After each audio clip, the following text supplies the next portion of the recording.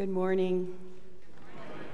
Welcome to American Reformed Church. May this be a space where we feel united by God's love and grace. Please join me in this morning's call to worship as printed in the bulletin and on the screens. Make a joyful shout to the Lord, all ye lands.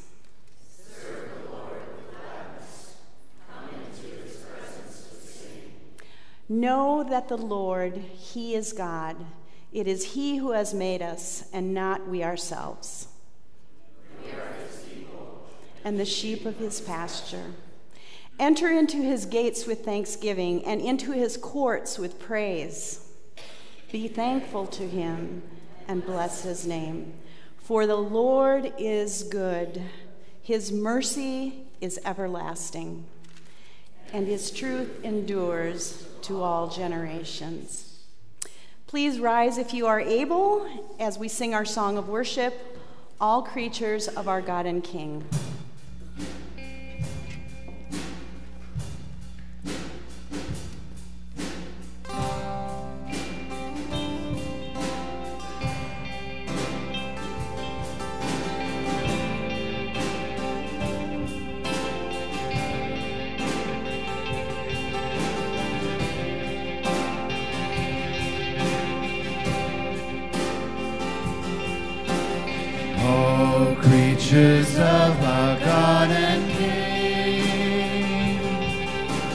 Lift up your voice and with us sing.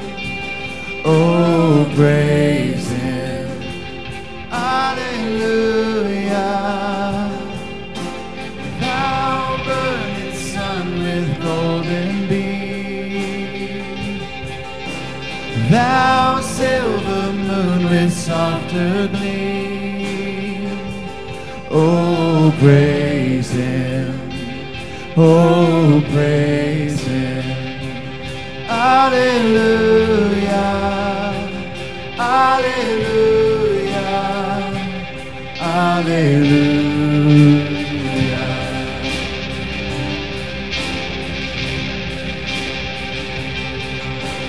Thou rushing wind that art so strong, ye clouds that sail in heaven oh praise Him, Hallelujah.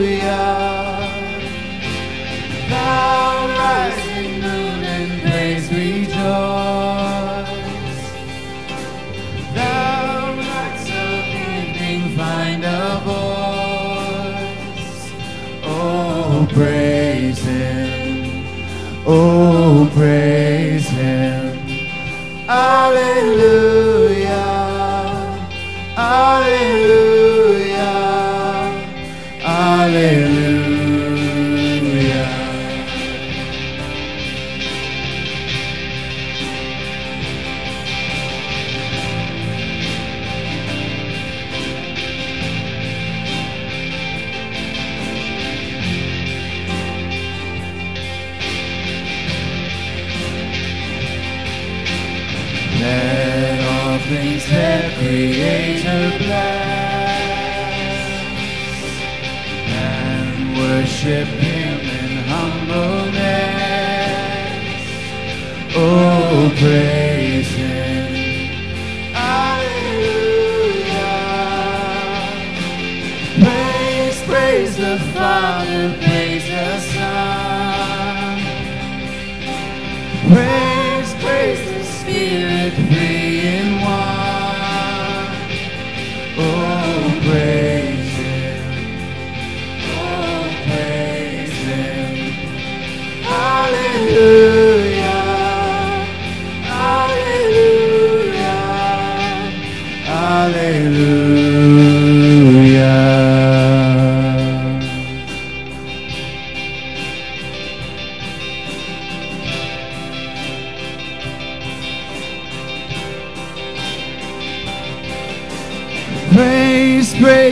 Father, praise the Son,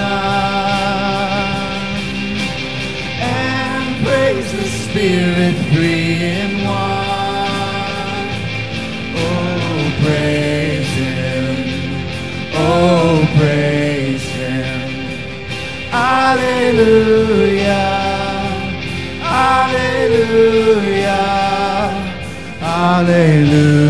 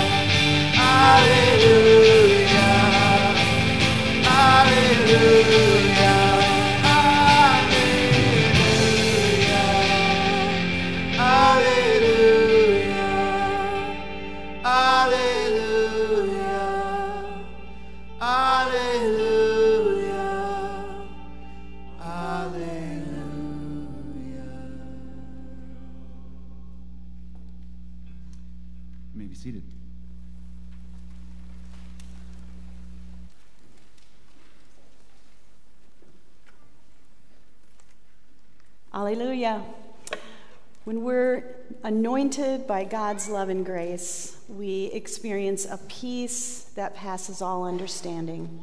Friends, the peace of Christ be with you. Please take a moment to share that peace with those around you.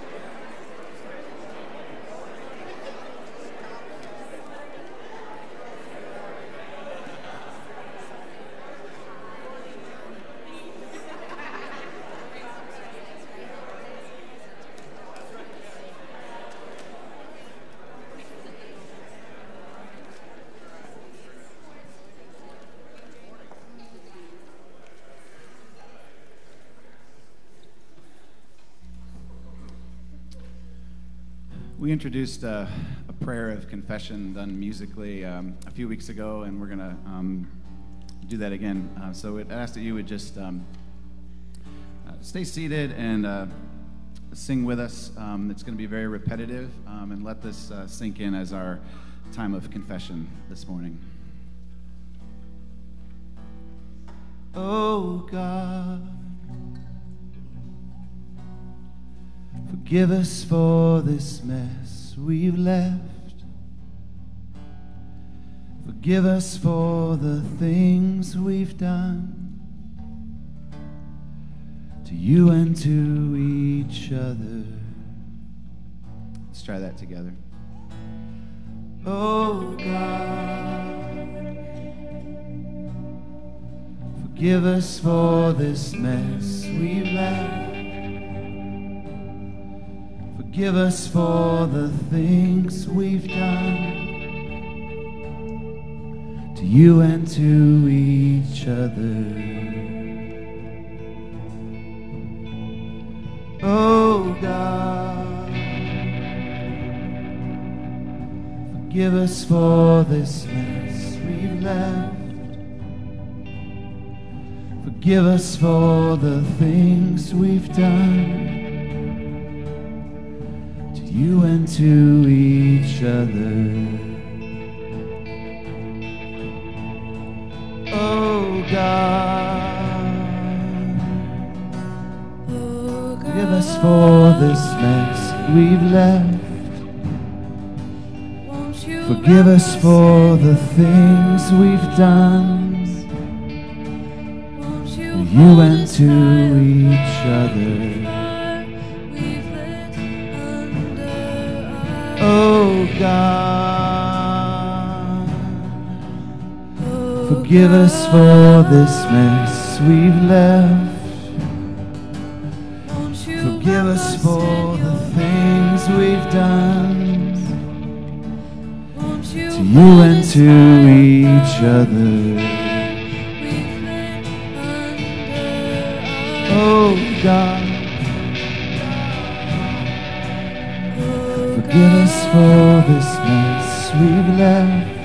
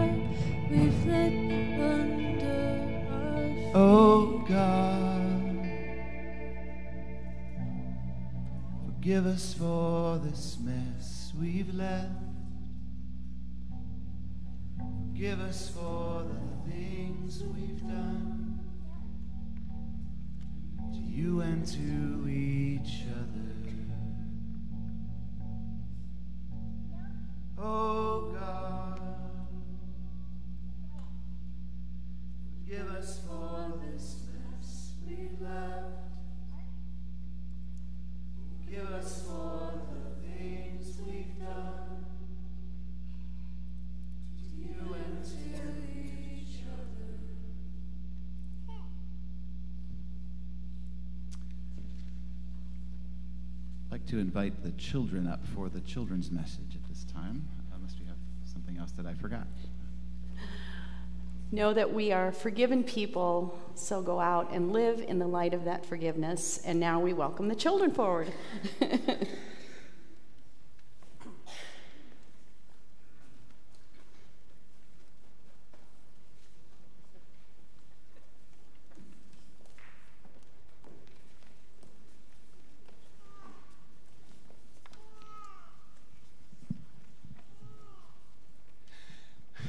Good morning, boys and girls.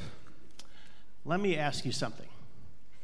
How, or do you have anything that you do that helps you remember key events? For example, if you have a birthday, what do you often do? What do you? You go to fun places? Maybe you have a. You get presents? All right. Let's see. If you are in church and there's something you read in your Bible, do you ever see people who will highlight things? Do you have different colors in your Bible? Can you see that? Sometimes I'll highlight things that I want to remember. Um, or maybe you take notes. So I have a little notebook with me. Um, oh, how about what we just did? If there's something you want to remember, do you sometimes make it into a song? Anybody do that? Maybe? No? All right, that's okay. How about if there's something that you want to remember, do you ever take a picture of it? Do you, have, do you take pictures of fun things that you've done because you want to remember them? Yeah? Now, let's say that we are back in the day when we did not have cell phones and we did not have cameras and things like that. So today, we're going to hear a story about a time that God wanted people to remember something. So they had been through something. So you remember that they were in Egypt and they were slaves, and they were treated very badly. And so they cried out to God for help, and God sent Moses to lead them to freedom. Now, as he prepared them to leave, he had an event called the Passover. And he asked them to mark on their door if they were uh, children of God. And then he, he came through and he did something. Now, he wanted them to remember that. So they started um, a tradition called the Passover feast. Do you guys often, when you get together to celebrate stuff, do you guys eat? Do you like a, if you have it on your birthday, what do you usually have? A birthday, a birthday cake. Yeah, that's a way to remember it. So that was this uh, Passover feast was a way for the people to remember that God flew over and saved them. Pretty cool, huh? Probably would have been easier to take a picture. Maybe? Yeah. All right. So, yeah, the, the story of Passover teaches us how important it is to remember. God wants us to remember the good things He has done in our lives, whether it's through celebration, photos, journals, traditions, songs, all of those things. We can, so we can keep those memories alive. So, as we think about the Passover, let's remember to thank God for His love and protection, just like He showed the Israelites. And let's make our own memories that we can cherish and share with others, okay? Can you pray with me real quick?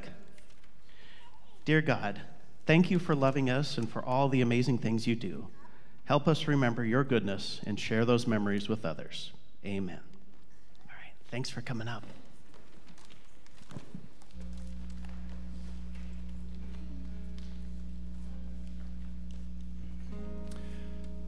Our song of preparation this morning is another new song. Um, so I'm going to invite you to stay seated. Um, and mostly, if you want to listen um, this time through, maybe this is a song that we can begin to sing as a congregation. Um, but for now, um, these are words directly from Psalm 139. Um, the Psalms have been the songbook uh, for the church for as long as the church has been the church and, and before. Um, and so I'd like you to try to pick up on some of these words. This song, the psalm is probably familiar to you. So as we sing a, a, a chorus as it comes in, I just invite you to, to sing as you're able to um, kind of match what Amelia and I are singing up here. Uh, but otherwise, just listen and use this as a, a way to prepare our hearts um, to cry out to God um, in our desperation, in our need. Um, Psalm 139.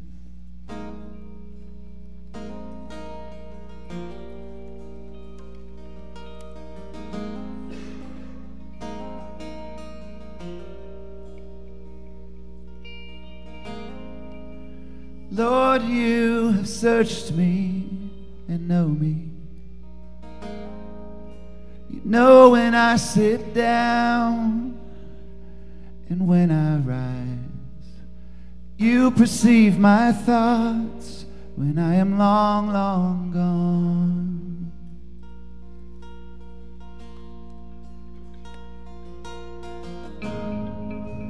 Where can I get away and flee your presence?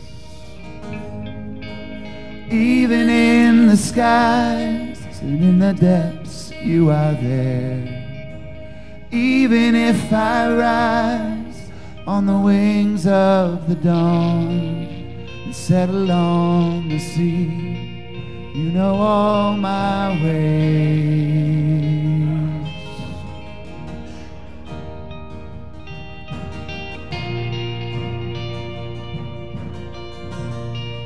You know all my ways.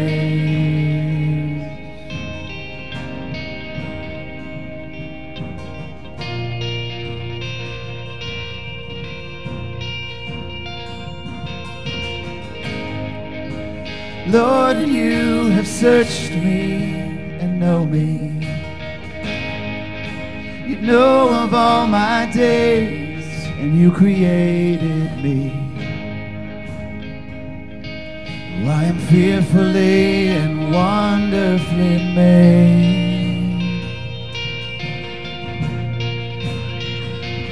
And I praise you because I'm fearfully and wonderfully made. And all your works are good.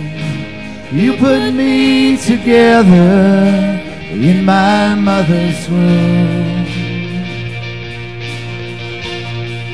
I am wonderfully made. You put me together in my mother's womb.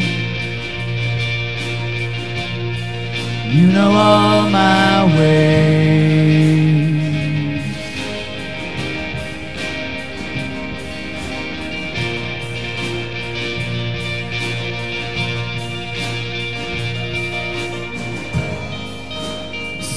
Me and know me and know my heart. Test me and know all my anxious thoughts. See if there is anything in me that gives you pain. You know all my ways. You put me together in my mother's womb. I am wonderfully made. You put me together in my mother's womb. And all your works are good. You put me together in my mother's womb. You know all my ways.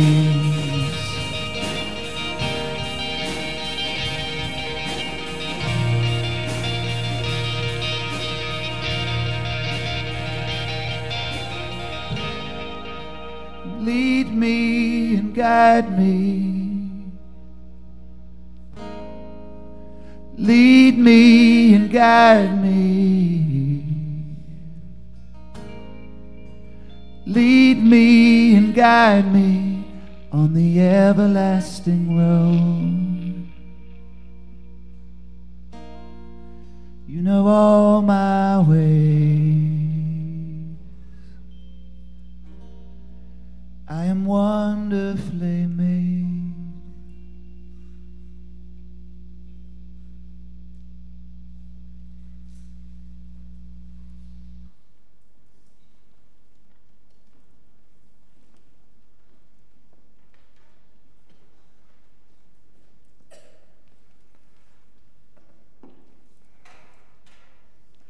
Morning. Let's pray together. God, you know us. You know our thoughts. You know our hearts. You know where we've been. You know where we're going. We pray this morning as we look to Scripture that you would give us reminders of who you are, and we pray that you would continue to guide us into who you are making us to be, both as individuals and as a church. To guide our, guide our thoughts in our ears and our mouths as we hear the Scripture, talk about the Scripture, and speak to us this morning. In your name we pray. Amen. Good morning. It is good to be here in person this week and not just up on the screen. Uh, thank you for the grace last week of things coming up. And I didn't even get one call saying, hey, you're a bum who didn't show up for week three of work for the biggest thing. So I appreciate that, and it's good to be together this morning. This morning, we're going to continue in our sermon series. Again, this year we're going through what's called the narrative lectionary. So we're reading stories in order as they appear in the Bible. Uh, Bible's a big book. We're not hitting all the stories. But last week we talked about Joseph, and this week we are jumping into Exodus. So, Exodus 12, 1 through 13. Join me as we read the scripture for this morning. The Lord said to Moses and Aaron in the land of Egypt, This month shall mark for you the beginning of months. It shall be the first month of the year for you. Tell the whole congregation of Israel that on the tenth of this month they are to take the lamb for each family, a lamb for each household. And if a household is too small for a whole lamb, it shall join its closest neighbor in obtaining one. The lamb shall be divided into, into proportion to the number of people who eat of it. Your lamb shall be without blemish. A year old male, you may take it from the sheep or from the goats. You shall keep it until the fourteenth day of this month. Then the whole assembled congregation of Israel sh- shall slaughter it at twilight. They shall take some of the blood and put it on the doorposts and the lintel of the houses in which they in which they eat it. They shall eat the lamb that same night. They shall eat it roasted over a fire with unleavened bread and bitter herbs. Do not eat any of it raw or boiled in water, but roast it over the fire with its head, legs, and inner organs. You shall let none of it remain until the morning. Anything that remains until the morning you shall burn. This is how you shall eat it your loins girded, your sandals on your feet, and your staff in your hand, and you shall eat it hurriedly. It is the Passover of the Lord, for I will pass through the land of Egypt that night, and I will strike down every firstborn in the land of Egypt, both human beings and animals. On all the gods of Egypt I will execute judgments. I am the Lord. The blood shall be a sign for you on the houses where you live. When I see the blood, I will pass over you, and no plague shall destroy you when I strike the land of Egypt. This is the word of the Lord. One thing about going through the narrative lectionary is that these scriptures are chosen for us. So it's always a fun exploration each week to see what will this sermon be as you read through that. I was curious, and this morning I want to talk about signs. Churches are well known for having signs. I think of us as kind of sign experts in a way. But with so many churches and so many signs, there's bound to be a few missteps. Like this first one. We love hurting people. You can see where they were going. It just kind of fell off. Or this next church that took it a little farther. Don't let worries kill you. Let the church help. It's a good attempt. And sometimes we can just get tired of putting up signs, so you just go for the very basics. Like this next church, too hot to keep changing signs, sin bad, Jesus good, details inside. I actually I like that one. I say we could that. But signs are extremely helpful, right? Signs tell us a lot of things. So earlier this week, I went for a walk around the neighborhood during the day. And because I'm thinking of signs and I'm thinking of this sermon, I decided to take pictures of the signs that I saw and think about how signs can help us. So this first one that I saw, right? Signs are helpful. They tell us the price of things rather than having to stop everywhere and ask. You can know before you ever go in. Signs also help us know that we're in the right place assuming in this case you want to be at stadium parking. Signs also tell us when we're in the wrong place. And we have signs that keep us from making bad decisions. The sign, if you can't see, it says no vehicles beyond this point. I like that that's outside one of the dorms at the college. So there's signs that do a lot of practical things, right? Signs tell us information, but signs can also give us a message. It can tell us even more. If you walk into the stadium at Northwestern, you'll see this big sign. It's like 30 feet wide. It's hard to miss. Uh, but this is a cool sign. It's a large banner that they have. This sign's going to tell you a few things. One, you could look very basic and say, okay, Northwestern's colors are red and white. They were the champions in 2022. But there's also something about the image, right? The image itself tells us something. It says, this image to me says, we're united, we're strong. And I always think with signs, whether it's a banner in a gym or whether it's a sign like this, whenever it says something about we were champions, and it, could, it doesn't matter if it's back in 1975, we were champions, there's kind of this hopefulness in it of we were champions, so maybe we are champions, and maybe this year we can still be champions. So a sign, this is a good sign. I thought this was a cool sign to see. Again, signs tell us a lot. And then I started walking back because I didn't want Mary to worry about me too much. Uh, and as I walked back, I noticed outside, I noticed our bell, and I thought I've driven past our bell a number of times. I saw there was a sign, a plaque on it, and I decided I'd walk up. So maybe you've read this before, maybe you haven't. I'll read it out loud because it's hard to see up there. But our sign, American Reformed Church of Orange City, was established as a Dutch Reformed church which spoke English rather than Dutch exclusively. In 1886, the first church building was erected at 1st Street Northwest and Arizona Avenue, but was struck by lightning and was completely destroyed by fire. The original bell was not recovered. Purchased by the Ladies' Aid of American Reformed Church for a second time, this bell was located in the church building from 1897, surviving a fire in 1926. We had a lot of problems with fires back then, until 1970, when the congregation moved to this current location. So, first off, just the fact that that bell uh, started out in 1897 is a pretty amazing thing. But, right, this is a sign. It's not a very big sign, but it's a sign that can tell us a lot about our history, what things have people experienced. You wonder what was it like for American Reformed Church when their building burned down because it got struck by lightning? How did that group of people pull together? This can start to make us wonder about our own history as a church. So, signs and symbols, they're extremely important. They can help us know where we've been, they can help us know where we are, they can also help us guide us to where we're going. In our reading this morning, we learn about the first time that the Passover feast is being instituted. Last week, we talked about Joseph and Joseph's brothers. Now, that's the story that ends the book of Genesis. So, when we left off last week, Joseph and his brothers were found, they found shelter in Egypt, right? Joseph was one of the main leaders of the country, so they're leading Egypt and they find respite in a time of famine. They find food and shelter.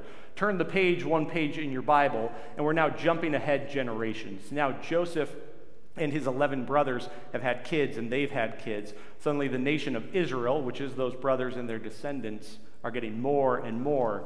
And the beginning of, of Exodus gives us this one line that mentions the new Pharaoh did not know Joseph. So there's not love for the Israelite people anymore. Instead, there starts to be a fear that this group of people is growing and that their strength as a community is growing as well. So the Egyptians make them slaves, and Pharaoh even goes so far to control the population that he calls for all the firstborn sons to be thrown into the Nile. Then perhaps you know what comes next. God calls a man named Moses sends him to tell Pharaoh to let the Israelites, God's people, go. The Pharaoh refuses, so God says, sends 10 plagues. For the first nine, Pharaoh stands his ground and says, Oh, no, you guys aren't leaving. A couple of false hopes in the middle of it, but in the end he says no. But God knows that this 10th plague that he's going to bring, this is going to be the thing that's going to push Pharaoh over the edge. This is the thing that is going to make Pharaoh say, Get out of here. I just want to talk about this image that we see in this scripture because God gives the people this physical action. God knows what's going to happen. God knows that they're going to be released. So he says, Before it happens, I'm going to give you this ritual, this physical sign that you can use to remember what I'm about to do. So I want to think about some of the symbolism in this passage that we read this morning. Just a few things. There's a lot. Uh, but an unblemished lamb, a symbol. Here you'll just see an artist rendition of of the people during the Passover. And an unblemished lamb, a symbol of people offering the best of what they have to a God that deserves their best. They need to take some of the blood and put it on the doorposts. Now, that might be something that as we sit here this morning, you might raise your eyes at a little bit. We don't do a whole lot of blood rituals in the church anymore. But this is a symbol when we think about blood. It's something that all of us have running through our veins. In the ancient world, blood is a symbol for life. So, this idea that a life has to be given, there has to be a sacrifice for Israel to be free, uh, blood represents this sacrifice. A couple of other things, if you didn't catch it from the reading. When the food is prepared, they have to eat it all that night. When the night comes to eat it, they have to eat it all. If they don't eat it, they have to burn it the next morning. The bread is made without yeast because there isn't going to be time for the bread to rise when God leads them and calls them out of Egypt. They have to wear, it says that they have to eat hurriedly or they have to eat with urgency, and they have to be wearing their clothes, sandals on their feet, holding their walking sticks. So, again, you can picture this whole thing. It's when God comes and calls you to do something, you as a people need to be ready to respond, and you need to be ready to respond quickly. So, God's giving them this so that they can remember what it was like when God called them out. And this isn't just a ritual for the people who are in Egypt in that moment. This is a tradition that continues to this very day. This is for the people that are leaving Egypt. This is also for the Jewish people through all time. This is for the future so they can remember what God has done for them. There's a lot of power in having a physical practice to remembering what God has done for us. Our bodies and our minds are tied together uh, in ways that help each other. And as I was on my walk the other day, I came across Northwestern. I assumed, I thought to myself, I don't think I've been in some of the buildings since I moved away 13 years ago. And I thought, I think it's okay for alumni just to walk into the buildings. Uh, no one kicked me out while I was in there. So I walked in, and it was interesting to walk into the chapel, and I walked into Van Peursem Hall. And when you start walking up steps, suddenly memories that I had start to come back. Sometimes things that, if you just were to sit and reflect on something, you don't think of, but then you're physically there, and suddenly you're walking up steps you've walked up before. Have you guys had things like that? Maybe it's that you're someone's cooking out of the family cookbook. You cook something that your grandma used to cook, and suddenly you smell it, and you're transported back to that moment in time, back to your grandma's kitchen. Maybe you hear that song on the radio, and then suddenly you're not just sitting in your car anymore, you're awkwardly trying to sway and slow dance to that first slow dance with that first person at that school dance. We've had it lately because we're going through so many boxes. So maybe you open up that box of old toys in your basement right? You pull out either that first stuffed animal that you had if you saved it, and suddenly it just brings back these memories, these physical uh, things are important in helping us remember. And I wondered to myself, what would it look like if a group of people said, hey, we know how helpful we know how helpful it can be to have physical rituals to help us remember. What would it look like for a group of people to decide they were going to remember something? I want us to imagine something as a group together. Are you, you're willing, you have to be. You can't really say no at this point. But let's imagine that there's a group of people. They live in one place, and then they all say to each other, you know what? We think there's actually opportunities over in that other place. So we're all going to go together. So they all say, all right, let's do it. So they go, they get together, they move over to this new place, they start to settle in, they start to find their rhythm, but something pops into their minds. They say, wait, what if we forget the old place? We love the new place, we love what we're doing, but we don't want to forget where we came from. We don't want to forget the old place. So, what if we did something to remember? They all agree this is a pretty good idea. It's a pretty agreeable group of people. So they sit down and they say, okay, well, what do we want to do? Like, what would be special we want to remember? I imagine them sitting in a room like this, looking at each other, thinking, okay, what was special about where we were? There's probably silence like this, people thinking. Suddenly, John's like, well, I have one idea. He's like, I remember when we used to, you know, we used to have to wash the streets Right? We just had buckets and we had brooms and we'd go up and we'd wash the streets and we'd scrub them. And everyone's like, that wasn't the most fun thing we did back home. But sure, we could. They don't want to kill the momentum of the conversation. So they're like, sure, we could probably do the street, the street scrubbing thing. That's fine. Any other ideas? And then Jill over here says, oh, the thing I missed the most about back home was the flowers. We had these tulips everywhere. Wouldn't it be awesome if we just planted a ton of tulips all over the place? And everyone's like, now we're talking. Now we've got some energy. Yes, we'll do the street scrubbing thing, we'll do the tulip thing. What else do we have? And then Todd is just like, you know, we could, we're wearing comfortable shoes now, but remember when we used to use the wooden shoes? when we were out in the fields and we were working? What if we just wore wooden shoes? And everyone's like, yeah, that would be different. And then, you know, Chuck jumps in, like, and we could make a marching band wear them. that confuses everyone. Everyone's like, we didn't do that back home. But sure, just like the street scrubbing thing, we could do that. And before you know it, this group of people start to develop an annual festival that they put together and they do so that they can remember where they came from. Are you with me? They start to remember what they do, and maybe it even gets so popular that people who join their community now, who don't share that history, might even start to participate in the festival as a way to be a part of the group now right? So these physical rituals that we have, they're important. We remember things and we have them all around us, even if we don't always think of them as such. We have signs and symbols and rituals, and I'm guessing that as we talked about this ritual of Passover, some of you guys probably jumped ahead of me in the sermon. When you talk about an unblemished lamb and sacrifice for the saving of people, I'm sure some of you were thinking to yourself, that sounds a little bit like Jesus. Good job. You get 10 ARC points, and you can redeem those for free coffee after the service.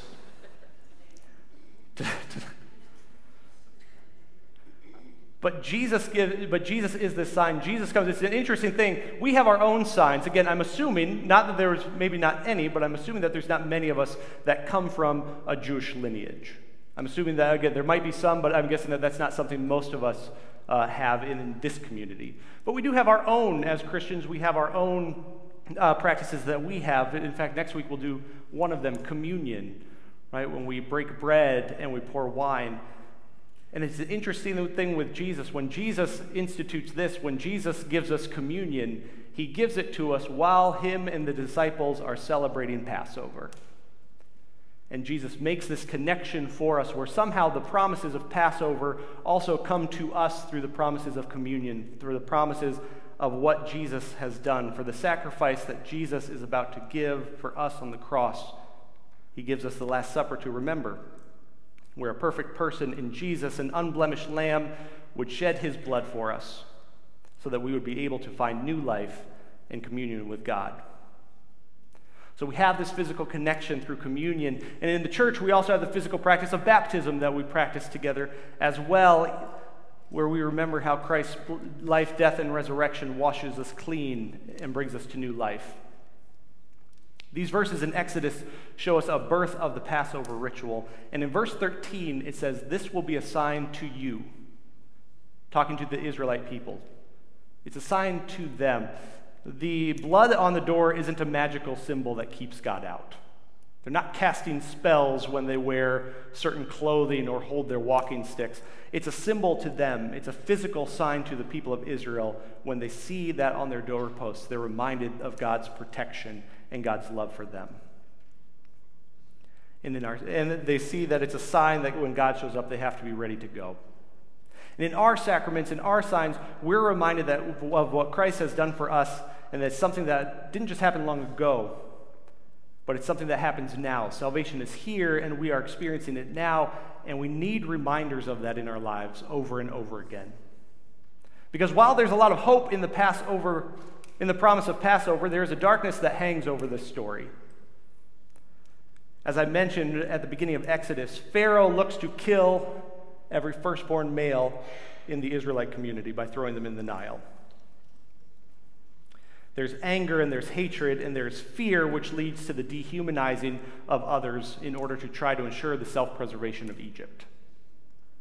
Pharaoh's refusal to let Egypt leave has led to a point where God is going to do something that, if I'm being honest, shocks and troubles me a bit. Because while those with the blood of the Lamb are safe, there's houses where death is going to come across the land, and that question comes into my mind, and maybe your mind too, of how could God do that?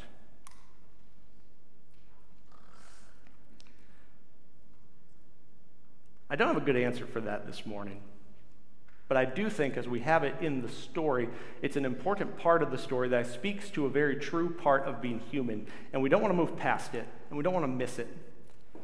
Because there's life found when we are worshiping in, in communion with the giver of life. When we live in the Spirit and we treat people with love, respect, kindness, and understanding, there is life that comes out of those relationships and in those moments.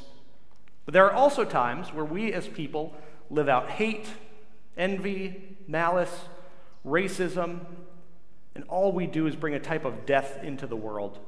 The story of Pharaoh and the people of Israel is a cautionary tale to us about the danger of treating people in a way that makes them less than human. It not only brings death to us, but just like the Pharaoh, it brings death to those around us.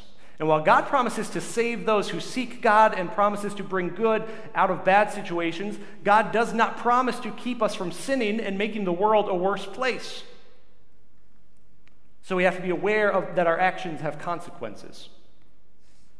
Through us, God can bring life or death, and the stark contrast that we see between Pharaoh and Moses and the Israelites can speak to us and help remind us that our decisions and actions matter.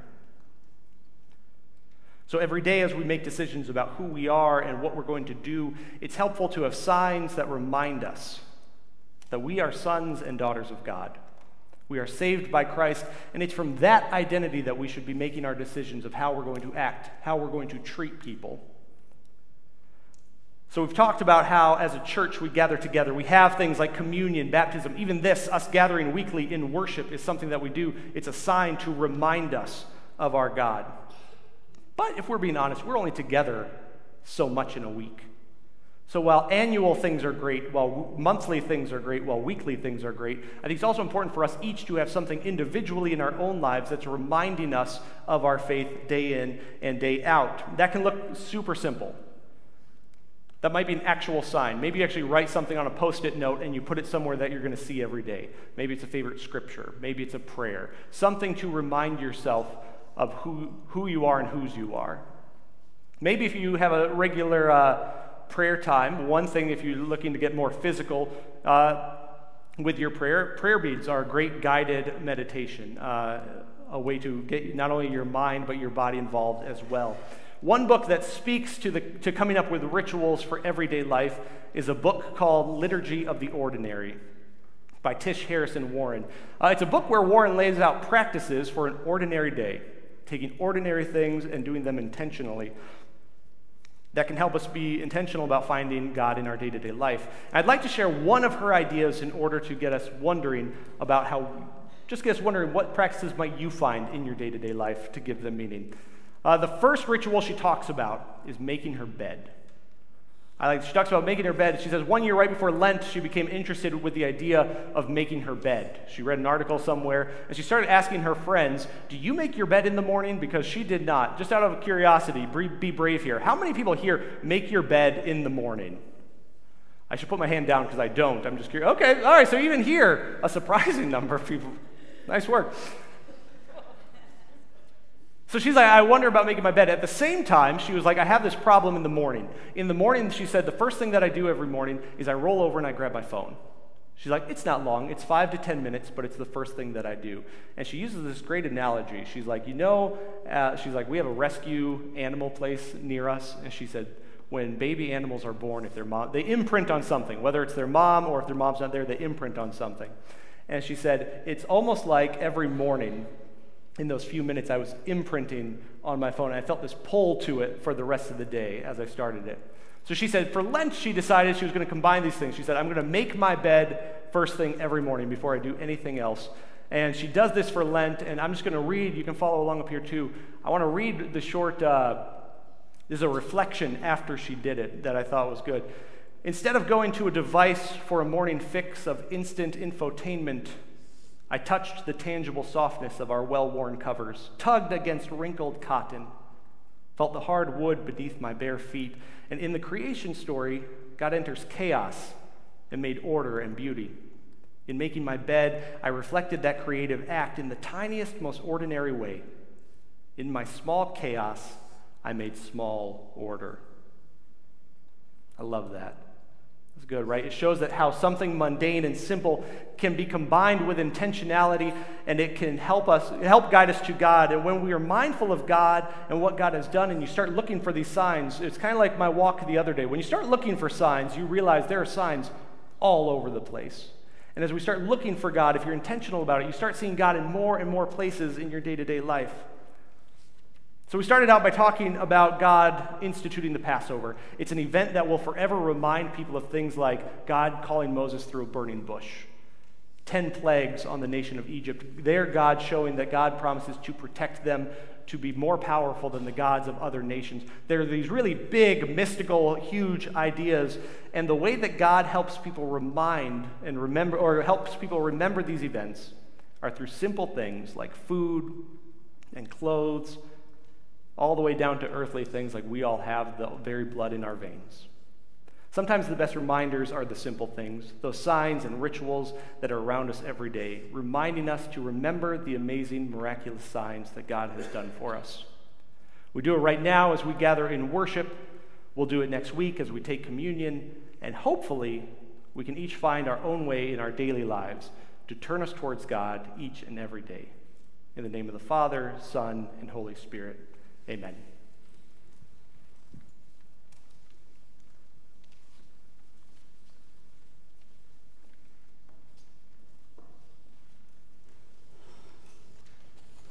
Please pray with me.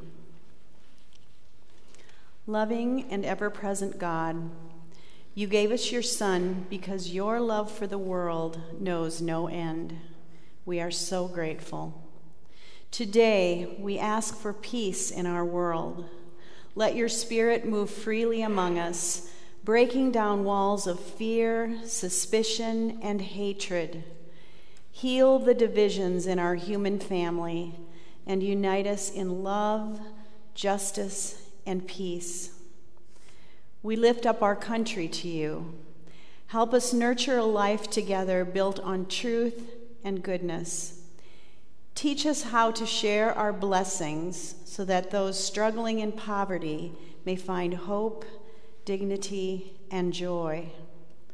For those who are suffering, wrap them in your love. Be their strength when they feel weak, their comfort when they are in pain, and their hope when they feel lost. Give them the courage to keep moving forward, even when the road is hard. We bring our families before you, especially the ones we hold close. Protect them, Lord. Be with them in the hard moments and give them peace. Help us all to grow in love, understanding, and trust with one another. And for your church, Lord, keep us rooted in the truth of your gospel. Help us respond to the needs of others and use the gifts you've given us for your glory. May our faith, our worship, and our lives bear witness to the saving power of Jesus Christ. We pray all of these things, Lord, in the name of Christ, and we echo the prayer that you taught us. Our Father in heaven, hallowed be your name. Your kingdom come, your will be done, on earth as in heaven. Give us today our daily bread. Forgive us our sins as we forgive those who sin against us. Save us from the time of trial and deliver us from evil. For the kingdom, the power, and the glory are yours, now and forever. Amen. Because of God's generosity to us, we give offerings of thanks to further his kingdom in the world. Offerings may be placed in the box in the back, or you may mail them to the main office. Um, you can even pay online. So please rise to sing the doxology as our offerings are brought forward.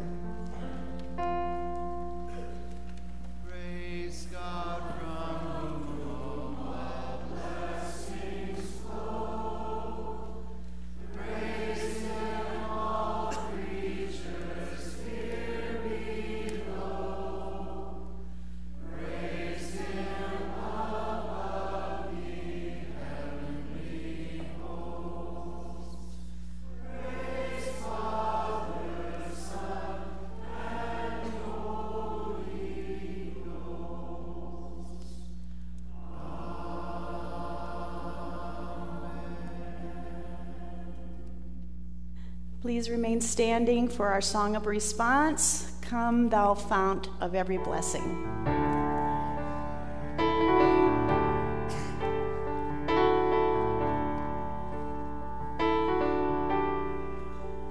Come, thou fount of every blessing, tune my heart to sing thy grace.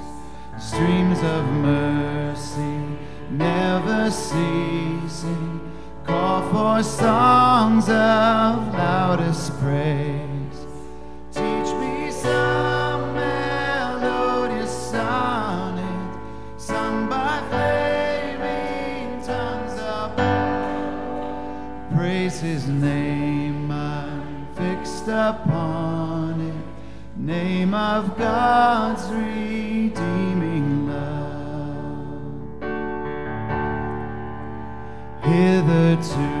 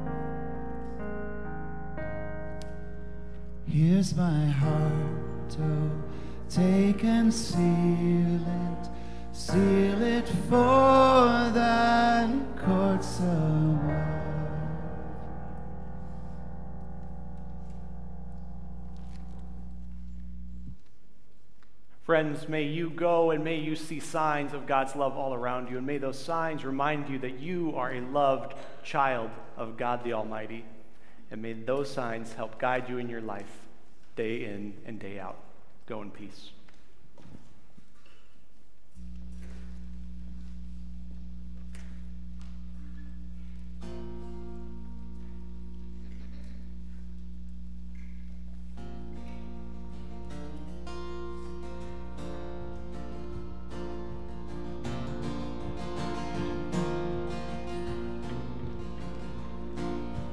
See how good it is gathering with friends, welcoming the stranger in.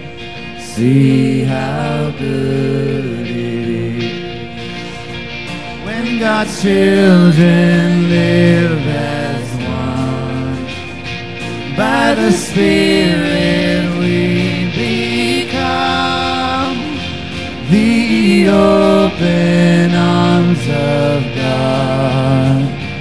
to a world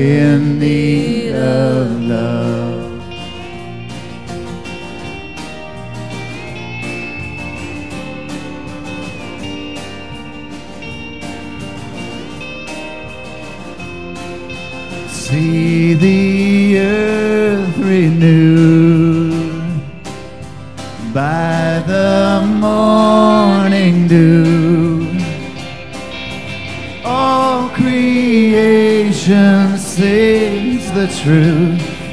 See how good it is when God's children live as one. By the Spirit we become the open arms of God to a world To a world in need of love. To a world